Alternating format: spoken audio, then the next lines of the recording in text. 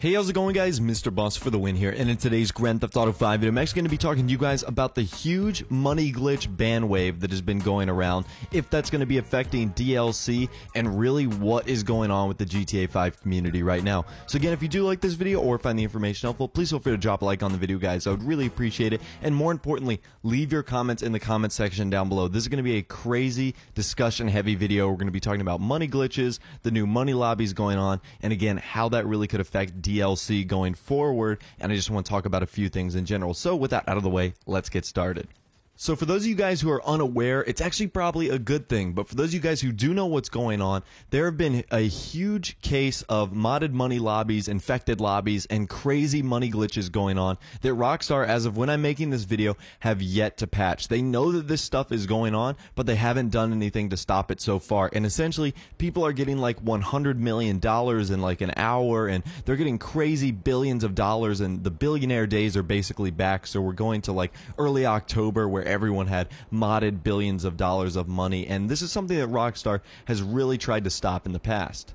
So while Rockstar is in the work of trying to patch this, they are doing some things with not only Microsoft and PlayStation, but things in their own GTA Online session. You guys might have noticed that a lot of your probably favorite YouTubers or even some of your friends might have actually gotten put in the cheater pool. In a more serious case, they might have even been banned off of Xbox Live or suspended for two weeks. So there are some serious, serious cases and serious, serious repercussions going down for not only participating in these money lobbies, but hosting them as well. So if you see one of them or if you are in one of them, just do not participate whatsoever. So if you are obviously hosting a money lobby, it is in your best discretion to stop right now. There are going to be some serious repercussions and disciplines that have been going on.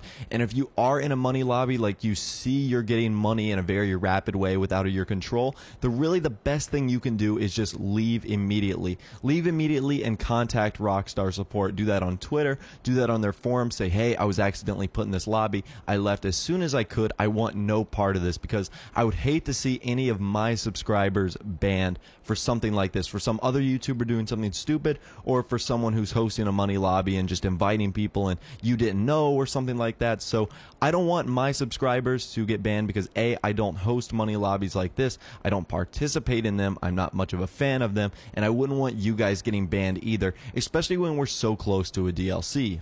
Speaking of DLC, this is something that really bothers me because I am really afraid that these modded money lobbies and money glitch lobbies are going to do some effect to the potential DLC that we're supposed to be getting tomorrow. For those of you who don't know, there's a rumored DLC pack coming out on August 12th. When this video goes up, it is of course August 11th. So I would hate any negative, you know, money lobbies to affect the DLC. You know, what if they have to push it back to another week? That's something I'm not really looking forward to. So hopefully this money lobbies don't affect what's going on right now. I know Rockstar really hates the fact that you can get unlimited amounts of money, like $100 million, billion dollars, whatever.